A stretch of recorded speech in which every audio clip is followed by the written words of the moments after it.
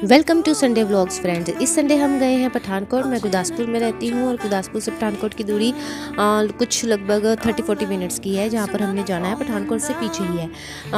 Gurdaspur Pathankot highway पे downtown नाम से कुछ बना हुआ है प्लेस यहाँ पे बहुत सारी ही आ, खाने पीने की शॉप्स हैं शॉप्स हैं होटल्स हैं वगैरह वगैरह वट तो हम सारी फैमिली जो है इकट्ठे होके गए संडे को।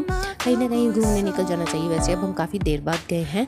तो रस्तों पर जो है, काफ़ी धूप थी, बहुत ही ज़्यादा, लेकिन समर वेकेशन को एंजॉय करते हुए, हम जल्दी से जल्दी बातें करते हुए, बच्चों के साथ खेलते हुए हम पहुँच गए अपनी मंजिल पर। तो ये देखिए, ये आ गया है। इस तरह से यहाँ पे काफ़ी सारे रेस्टोरेंट्स और छोटे होटल वगैरह बने हैं, जैसे मैकडोनल्ड्स पिज़्ज़ा हट स्टारबक और बारबेक्यू और जो भी आपको समझ लो, हल्दीराम वगैरह सब कुछ है। और भी नई सारी बहुत सारी शॉप्स बन रही है। मे भी यहाँ पे दूसरी जो है शॉपिंग की शॉप्स भी बनेगी। प्रोडक्ट्स यहाँ पे शॉप होते हैं ब्रांडेड तो बहुत ही रश था संडे को अदरवाइज़ भी रश होता है, क्योंकि जो ओन हाईवे है। आप कभी जाओ पठानकोट को तो पठानकोट का टोल प्लाजा पार करते ही ये आ जाता है लेफ़्ट साइड में।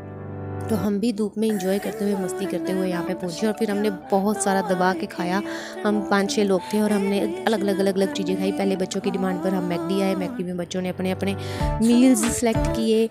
मैकडी जो है बच्चों का तो फेवरेट होता ही है, आपको पता ही है। तो छोटी छोटी छोटी छोटी चीज़ें जो है हम खाते हुए इंजॉय करते हुए हम इसी तरह से अपने जो है छुट्टी वाला दिन इंजॉय कर लेते हैं। आपको भी कहीं ना कहीं ज़रूर जाना चाहिए। चाहे घर के पास ही जाओ बच्चों के साथ।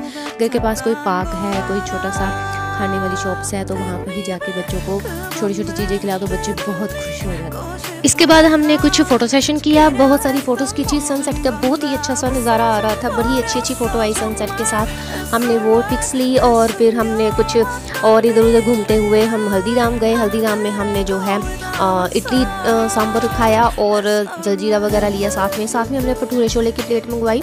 भटूरे छोले थोड़े से हार्ड थे। मुझे इतने अच्छे नहीं लगे पर्सनली वैसे तो हल्दीराम का सारा ही सामान बहुत ही अच्छा था। सारे स्नैक्स बहुत अच्छे थे। बाकी जो हमारे जेंट्स लोग थे, वो कुछ और खाने के लिए चिकन वगैरह खाने के लिए दूसरी साइड में गए तो उनकी मैं नहीं ले सकी पिक्स फिर हम घर वापस आ गए। आते टाइम मैंने cold coffee with ice cream ली, जो कि मुझे बहुत पसंद है, बचपन से बहुत पसंद है। तो बस हम इसी तरह इंजॉय करते हुए अपना समर वेकेशन को समर की एक छुट्टी को एंजॉय करते हुए घर आ गए। आपने अपनी छुट्टी कैसे बिताई? मुझे ज़रूर कमेंट में बताइएगा और जल्दी से मेरे चैनल को लाइक एंड सब्सक्राइब कर लीजिए। मिलते हैं नेक्स्ट वीडियो में। Thank you for watching